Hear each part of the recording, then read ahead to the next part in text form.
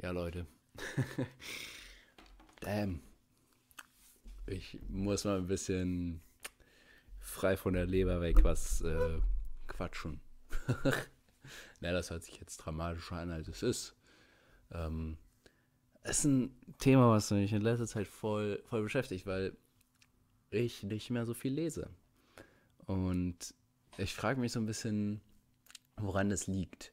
Also, ich habe so das Gefühl, die, so, so viele Leute, die, die einfach generell schon wenig lesen oder gar nicht lesen äh, heutzutage, die sagen ganz oft so, also entweder sagen sie natürlich, sie mögen das aber nicht so, schauen lieber Serien oder so Filme, was ja voll okay ist. Äh, oder sie sagen, ach ja, ich würde ja gern, aber mir fehlt halt die Zeit. Und ich finde das immer so ein blöden Satz, weil das so, so eine Ausrede ist, dann, dann ist es nicht die Zeit, weil du hast genau die gleichen 24 Stunden wie jeder andere auch. Äh, dann ist es einfach nur nicht deine Priorität und das ist ja voll okay, aber dann sag das doch. Dann sag doch einfach, yo, ich habe halt keine Zeit fürs Lesen. Ich mache lieber andere Dinge. Wenn ich entscheiden muss, ob ich lieber ein Buch lese oder lieber was anderes mache, dann entscheide ich mich für das andere. Äh, dann ist doch nicht die Zeit das Problem, dann ist die Priorisierung das Problem. Und ich habe jetzt zurzeit das Gefühl, es ist bei mir eigentlich genauso. Ich, äh, wenn, wenn, Leute mich fragen, was hast du in letzter Zeit gelesen, dann sage ich immer so, boah, ich, ich komme irgendwie nicht dazu, ich habe keine Zeit fürs Lesen. Und das ist irgendwie, dann ist mir das letztens mal aufgefallen, dass das eigentlich genau dieser Satz ist, den ich selber immer so blöd finde. Weil es ist tatsächlich so. Es liegt nicht daran, dass ich keine Zeit habe. Ich habe die gleiche Zeit, die ich schon, schon immer habe aber ich habe gerade andere Dinge, die mir wichtiger sind. Und das ist irgendwie, ja, auf der einen Seite ist es ja, ist es ja schön und gut, auf der anderen Seite auch irgendwie gruselig, weil ich total gerne lese eigentlich und ich, ich liebe das, in, in Geschichten einzutauchen und ich liebe das gerade in dieser Welt, in der so viel passiert, in der so viel anderes äh, ist, einfach mal, gerade auch in, wo gerade auch technisch gesehen so viel passiert, also vieles, was man macht, ist halt so technisch, so vieles ist am Handy, am Computer oder so. Und dann mag ich es total gerne, einfach mal in so eine Papierwelt zu fliehen und mir dafür die Zeit zu nehmen. Das ist so, hat so was Oldschool-mäßiges und das, das ist total cool eigentlich. Und jetzt zur Zeit ist es so, dass ich das gar nicht mehr so mag. Dann denke ich, ach ja, ich würde gerne mal wieder lesen und setze mich hin und denke mir, gut, die Zeit, die könnte ich jetzt auch äh, damit verbringen, selber mal wieder was zu schreiben. Das ist was, was ich zurzeit super viel mache. Also ich schreibe ja schon seit ein paar Jahren wieder selber viel, aber so viel wie zurzeit habe ich schon, habe hab ich eigentlich noch nie selber geschrieben. Der Boden bebte und Piets Herzschlag raste. Er fragte sich, warum er das noch nie mitgekriegt hatte. Wahrscheinlich war er bisher genau so durch die Welt gegangen wie all die anderen Leute um ihn herum, die auch jetzt noch keine Notiz davon zu nehmen schienen.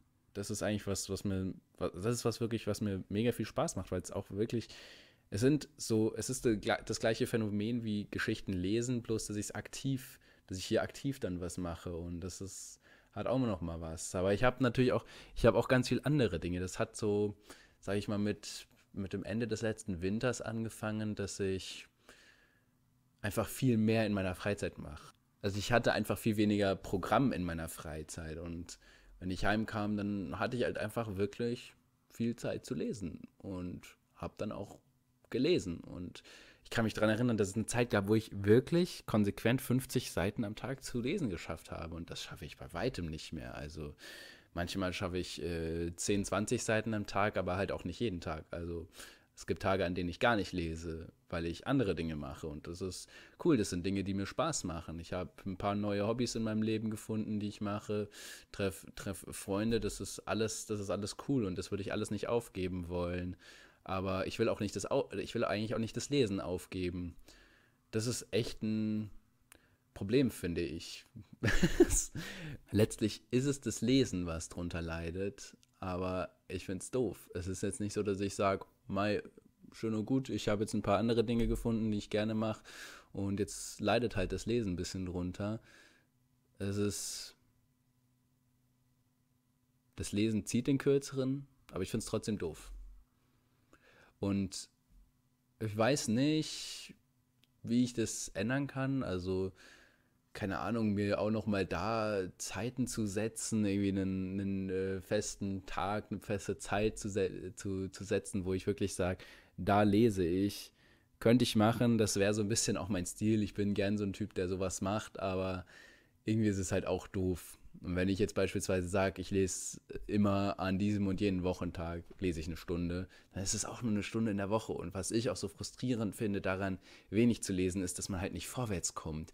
Das ist so, das ist wirklich frustrierend. Man hat so ein Buch, das ist eigentlich ein total dünnes Buch und dann fängt man das an und liest alle paar Tage mal ein bisschen und kommt einfach nicht vorwärts, auch wenn das Buch super spannend ist und ein gutes Buch möglicherweise ist kommt man nur langsam vorwärts und das ist frustrierend und das ist auch demotivierend. Das ist wirklich demotivierend. Ich habe das Gefühl, man muss, also ich habe das Gefühl, ich muss viel lesen, damit ich motiviert bleibe. So ein bisschen lesen ist super demotivierend.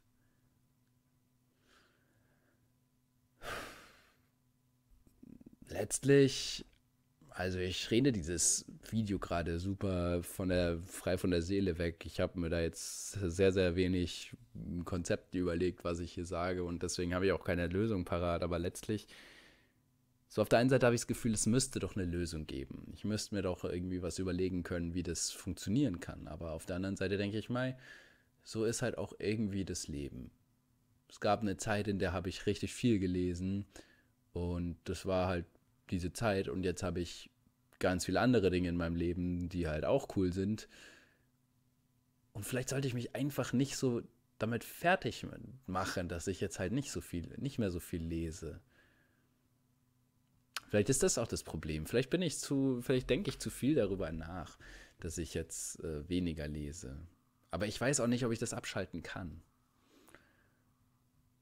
Es ist, gerade ein, also was das Lesen angeht, ein riesen Chaos in meinem Kopf. Es ist wirklich, ähm, es ist wirklich so, ich habe gerade tausend Bücher. Ich habe Bücher, äh, die ich super gerne mal lesen würde. Es gibt Bücher, die ich sogar schon mal angefangen habe, die ich aufgehört habe, weil gerade was anderes doch irgendwie spannender war und die ich aber trotzdem nicht wegtun möchte, weil ich nicht sagen will, ich habe die jetzt abgebrochen und lese die nie wieder weiter. Ich will die auf jeden Fall doch noch weiterlesen und dann kommt ständig ein neues Buch dazu und ein neues Buch ist immer interessanter, egal was es ist. Es ist in meinem Kopf immer neu, ist irgendwie, also ein Buch, was neu bei mir eingezogen ist, ist so ein, hat so was Frisches und das will ich jetzt eher lesen. Und dann ist immer das, was ich zufällig gerade im Humnubel sehe und mitnehme, ist gerade das Spannendste. Und die, die, je älter die Bücher werden, desto weniger attraktiv sind sie eigentlich für mich. Und äh, das nervt mich auch total.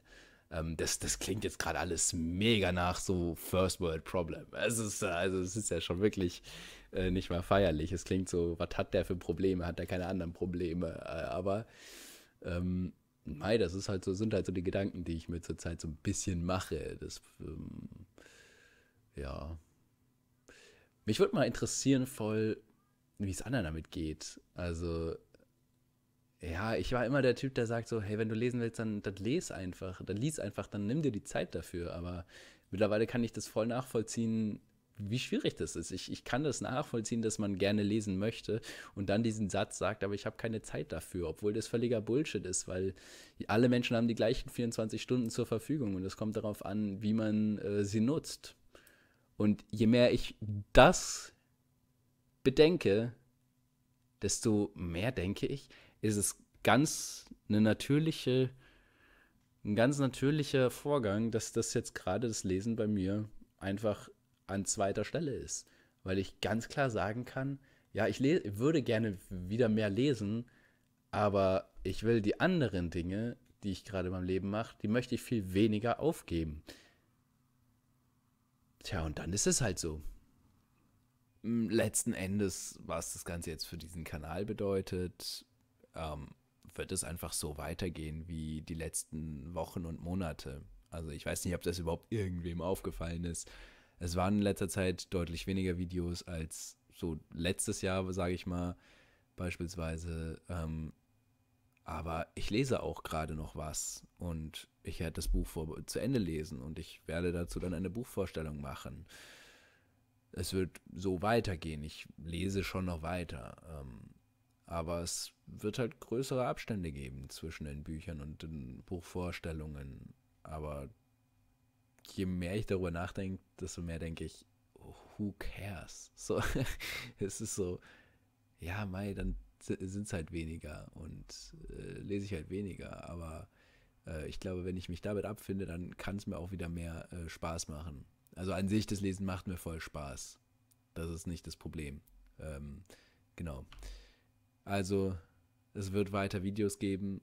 Es äh, wird mir weiterhin auch Spaß machen, die Videos zu machen. Ähm, das ist äh, auf jeden Fall außer Frage. Genau.